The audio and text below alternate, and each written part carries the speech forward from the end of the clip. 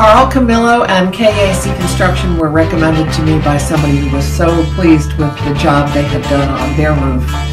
From the time I met them until the job was completed, they were professional, courteous, honest, prompt, and astonishingly hardworking.